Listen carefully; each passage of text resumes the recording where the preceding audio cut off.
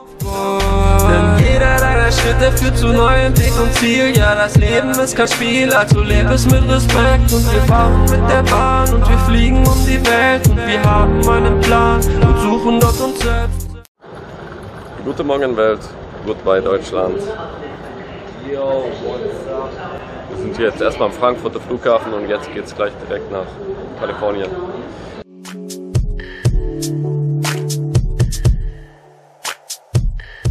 Hello, meine Happy People. Ich würde sagen, wir starten mit dem Trip Talk. Wir kamen nämlich in San Diego, Kalifornien an. Die Sonne schien und es war allgemein so, wie man sich eigentlich San Diego vorstellt. Und da komme ich jetzt zu einem kleinen Phänomen, was ich persönlich so empfinde. Ich weiß nicht, ob man es nachvollziehen kann oder das andere auch so empfinden, aber wenn man als Europäer, sage ich jetzt mal, nach Amerika kommt, wo wirklich ein Großteil der großen Filme abgedreht wird, dann fühlt man sich erstmal wie an so einem Movieset. Also bisschen unreal alles. Und jetzt bist du bei diesem geilen Set, aber es kein Model am Start. Also habe ich das gemacht, was mir am logischsten schien. Handy genommen, Instagram, connected. Das Ganze habe ich dann bestimmt tausendmal gemacht, per Track and Drop. Hab grob formuliert, was ich mir so vorstelle. Hab einen oder eine Art Moodboard dazu geschickt. Ich traue mich das gar nicht zu sagen, weil gewinnt keinen Schönheitspreis. Manche machen das immer so dekoriert. Bei mir sind halt ein paar Bilder, paar Schlagworte. Das Ganze war recht flexibel, weil ich habe sozusagen zwei davon erstellt. Das eine war eher so für Natur-Areas. Das andere war für die Städte, da wir natürlich beides angesteuert haben.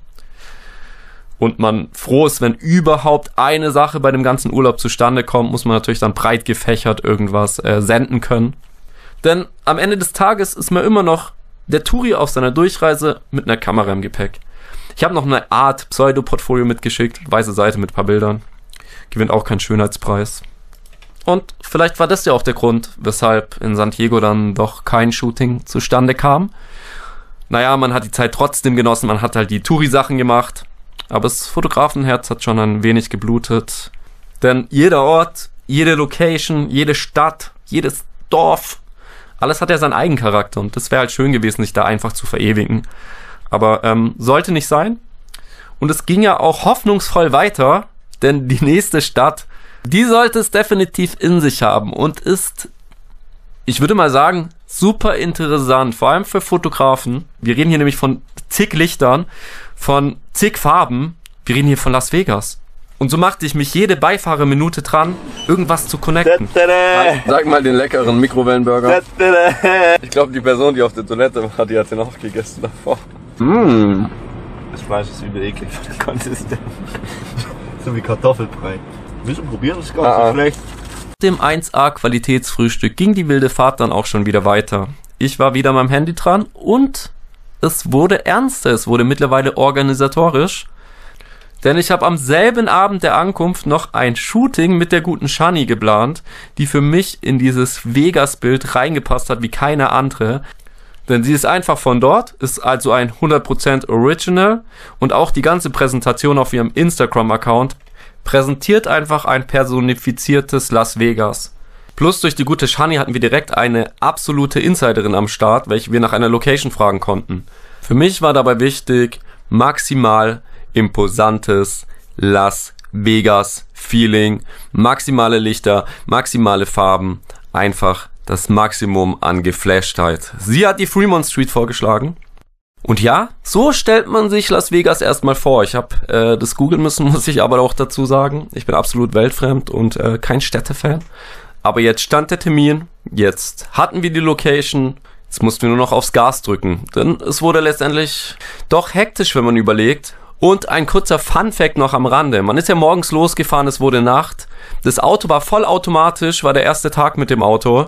Und ich bin bestimmt drei Stunden nur mit Standlicht gefahren und habe mich schon gefragt, warum die Lichter so schwach sind oder warum ich mich so konzentrieren musste. Ich hatte wirklich die ganze Zeit die Augen zusammengedrückt, hatte auch schon ganz rote Augen.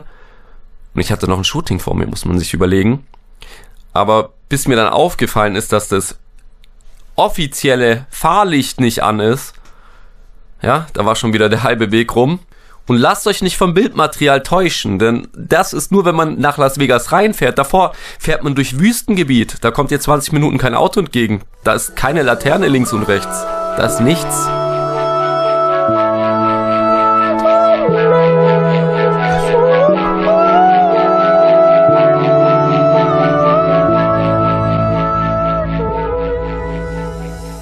Ja, wir waren in Las Vegas angekommen und es wurde erstmal hektisch. Das ganze Bildmaterial ist später entstanden. Der erste Abend war einfach nur einchecken im Hotel und so schnell wie möglich zur Location. Und es war wirklich Stress pur. Und das Ganze mit roten Augen, mit fast schon Kopfschmerzen aufgrund der ganzen Konzentration während der Autofahrt. Aber ich war heiß auf das Shooting. Jetzt mussten wir also sprich diese Fremont Street suchen per Google Maps. Ging das ja ganz gut. Aber ja, es ist halt natürlich erstmal ein äh, absoluter Kulturflash, den du nicht mal sacken lässt, sondern es geht direkt ins Herz von Las Vegas und let's go zur Fremont Street. Wir haben dann recht zeitnah einen Parkplatz gefunden. Der war recht düster gelegen, muss ich dazu sagen, aber dann sind wir einfach den Geräuschen gefolgt und da lasse ich das Ganze jetzt einfach mal mit Ton auf euch wirken, wie es ist, wenn man dort ankommt.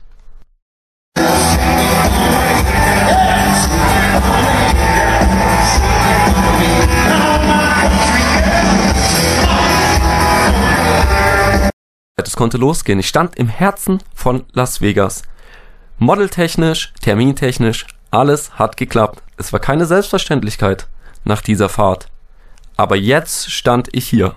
Mit roten Augen, bisschen fertig, aber jetzt muss mal die letzte Kraft mobilisieren und let's go. Mein Equipment war meine Fuji X-T2 mit einem XF 3514 und dem Zoomobjektiv XF 18 bis 55 mm. Zusätzlich hatte ich noch einen Reflektor dabei, der bei diesem Shooting aber weniger zum Einsatz kam als gedacht. Ganz anders sieht's da mit meinem Prisma aus, was fast bei jedem Bild zum Einsatz kam und finde ich auch gerade bei solchen Licht-Farbsituationen wirklich eine absolute Empfehlung ist und was ich nicht hätte missen wollen an diesem Abend. So, mit dem Equipment war ich also fein, aber auch wenn man erst denkt, bei dieser Location, da kann ja nichts schiefgehen. Da sind doch alle Gegebenheiten perfekt.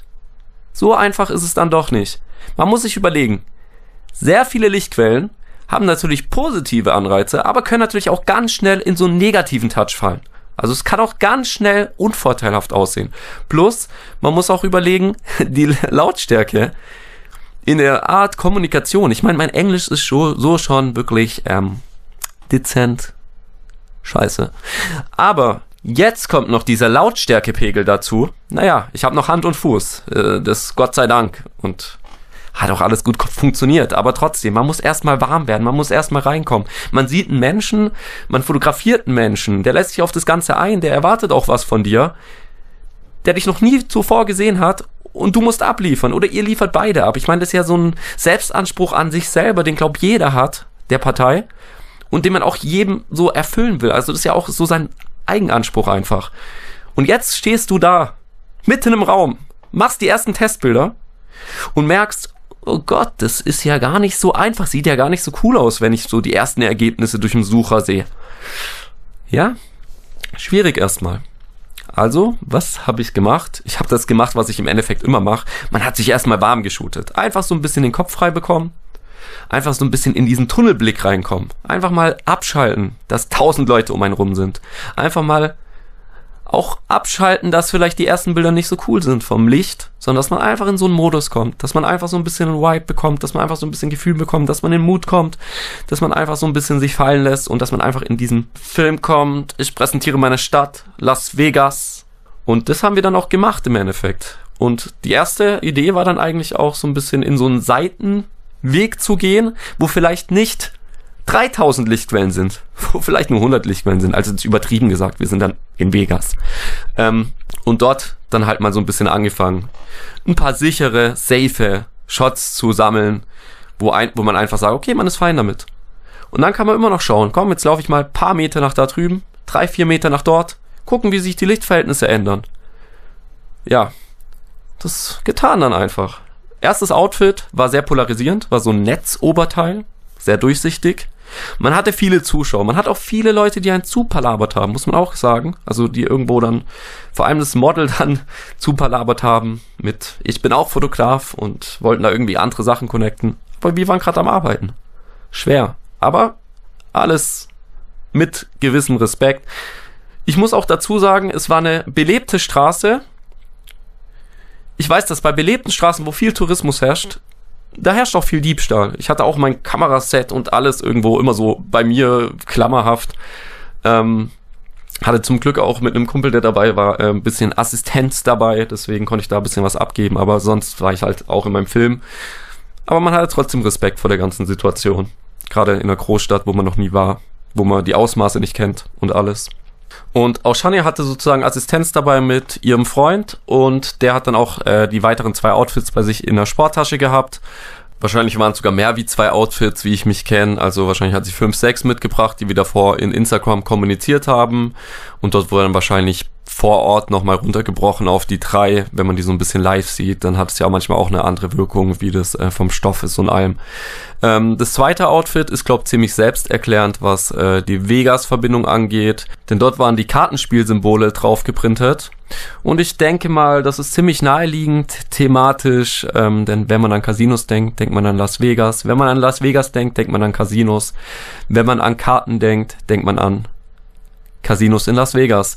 Ähm, Im Endeffekt hat das definitiv zur Thematik gepasst und war auch vom Stoff super dankbar, denn es war eher so ein Fließstoff beziehungsweise so ein Kunstfell und ist dadurch natürlich äh, sehr gut gefallen. Und zum Kontrast zu diesem eher lichtabsorbierenden Outfit stand dann unser drittes Outfit. Denn das war eher glänzend und reflektierend und ist auch eigentlich sehr schön, wenn dann gerade bei so einer Umgebung, wo sehr viel Licht und Farbenfroheit herrscht, dann auch das Feedback auf dem Outfit sich widerspiegelt. Dann machst du im Herzen Vegas nichts falsch. Und es darf ja auch ein bisschen unruhig sein. Die Stadt ist unruhig, die Stadt ist wild, die Stadt ist laut, überall kommen Geräusche her, überall wuseln die Leute, überall geht einfach was. Und deswegen darf auf dem Outfit auch was gehen. Und deswegen darf auch eine Reizüberflutung entstehen auf so einem Bild, wo dann plötzlich auch mal das Outfit halt für sich spricht, beziehungsweise das Feedback des Outfits in Form von Spiegelung. Cool einfach. Das feiere ich absolut. Es passt hier einfach rein. Es passt zur Thematik. Wir sind hier nicht im Wald. Wir sind hier im Wald der Großstadt. Und da auch nochmal kurz zu meiner Bearbeitung, denn die ist ja auch so ein bisschen über das Ziel hinaus, ist aber auch einfach meine Handschrift. Wenn ich mich Crystal Trip nenne, dann geht's ein bisschen drüber. Und ähm, zu dem Zeitpunkt lässt sich über einiges streiten, ist ja auch schon wieder ein paar Jährchen her, äh, wann die Bilder entstanden sind, wie ich dort bearbeitet habe, war auch ein bisschen anders, wie ich es jetzt machen würde. Aber im Endeffekt, ähm, klar, ich weiß, die Orangetöne im Gesicht oder beziehungsweise ähm, die Farbtöne auf der Haut kann man kritisieren. War einfach mit dem Bildstil zu der Zeit, ähm, bin ich auch fein mit und auch, dass es so ein bisschen künstlichen Look hat, ähm, damit an sich bin ich auch fein. Wie schon gesagt, paar Sachen würde ich anders machen, aber im Endeffekt geht es hier nicht um Dokumentarfotografie, sondern wirklich darum, sich so ein bisschen künstlerisch auszuleben, Spaß zu haben mit der Fotografie, auf das zu machen, was man Bock hat und natürlich auch seine eigene Handschrift einfach auch sein zu lassen. Und ähm, ich glaube, das ist mitunter auch eins der wichtigsten Sachen, die man als Fotograf einfach ähm, verinnerlichen soll. Und eine kurze Nebengeschichte noch zu unserem Shooting. Die letzte Location, die wir uns rausgesucht haben, das war ein Hoteleingang, geschmückt mit goldenen Glühbirnen an der Decke. Dort haben wir dann ein paar Bilder geschossen, dann kam ein Security ums Eck und hat uns wirklich freundlich aufgefordert, ähm, die Location zu verlassen, hat uns aber erlaubt, die Bilder, die bis dahin entstanden sind, zu behalten, und ich finde ganz ehrlich, ich weiß nicht, ob es in Deutschland so human abgelaufen wäre. Vor allem, da der Security Guy auch noch gemeint hat, dass sonst gut und gerne Produktionsfirmen dafür zahlen, dort äh, Videos, Werbung und ähnliches abzudrehen. Und auch ein ganz bekannter Popstar hat in diesem Zeitraum plus minus ein nicht weniger bekanntes Musikvideo gedreht. Im Fall nochmal kurzes Fazit. Shooting war top. Ich war stolz, wie so ein kleines Kind und hab gleich mal auf Instagram so eine Story machen müssen, ja. Man muss auch manchmal einfach die Situation feiern und dankbar sein. Produktiver Hunger war also fürs Erste gestillt. Und ich konnte Las Vegas genießen wie ein ganz normaler Tourist. Música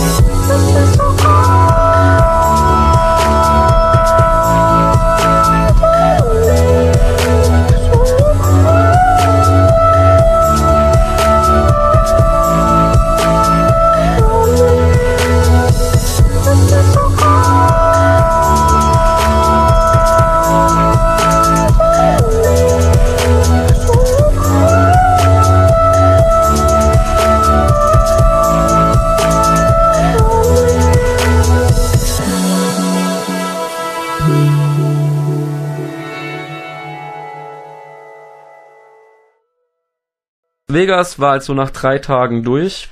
Es reicht auch, würde ich persönlich sagen, weil selbst als gesunder Mensch äh, kriegst du, glaube irgendwann mit Epilepsie zu kämpfen, wenn du dort äh, mehrfach durch Casinos läufst und du läufst durch Casinos, weil du in Vegas bist. Und nach der Reizüberflutung aus Las Vegas kam es jetzt zum direkten Kontrastprogramm, denn wir fuhren nach Grand Canyon Village.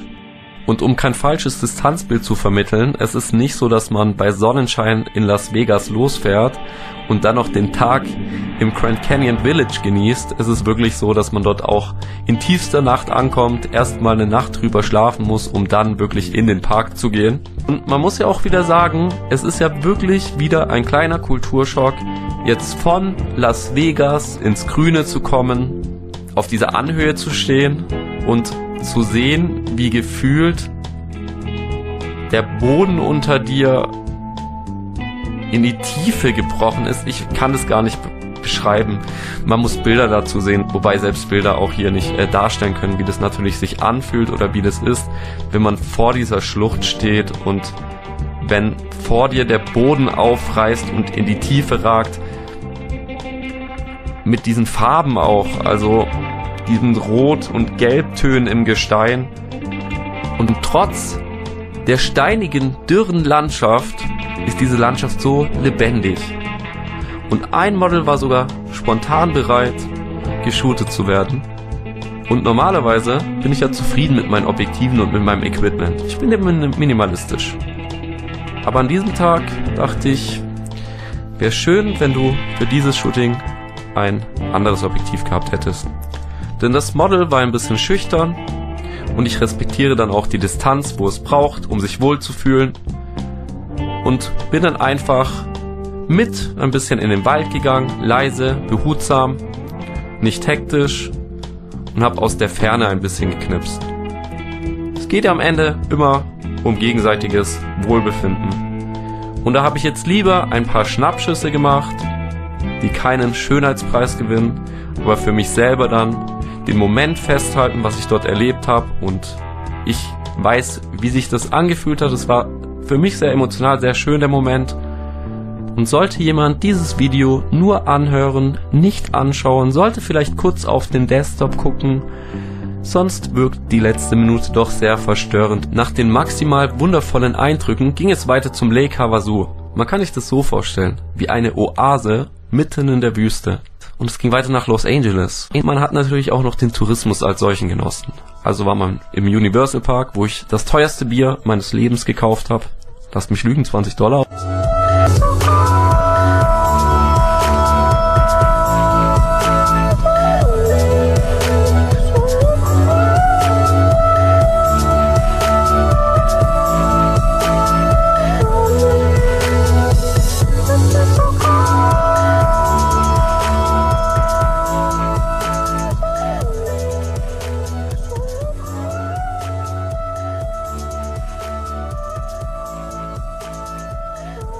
Man weiß, jeder Trip geht irgendwann zu Ende und führt direkt mit der SD-Karte Richtung PC.